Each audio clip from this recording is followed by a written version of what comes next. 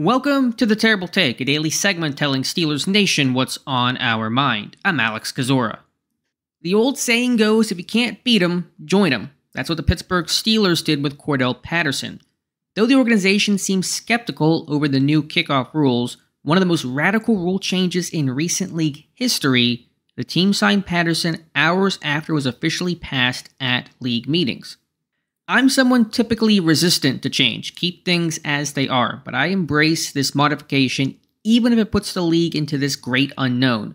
What it's supposed to do is increase the number of returns by roughly 20%, according to Saints special teams coach Darren Rizzi, while also reducing the number of violent car crashes between the coverage team and the return team. These changes also include two return men in the landing zone instead of the usual one of the past many years so having a kick returner has gone from afterthought, a placeholder really, to a must. You do not want to be the team without one in a year where you suddenly need one. And Pittsburgh signed arguably the greatest kick returner in NFL history. Patterson is right up there. Third all time in average, first in touchdowns. He's 33. You have to at least wonder how much longer he can keep doing it.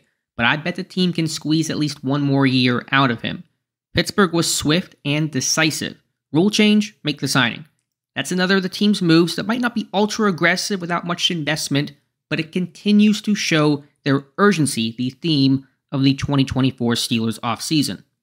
Be sure to follow us at SteelersDepot.com and check out episodes of The Terrible Take every day at 5 p.m. Eastern Time. And check out The Terrible Podcast with myself and Dave Bryan every Monday, Wednesday, and Friday.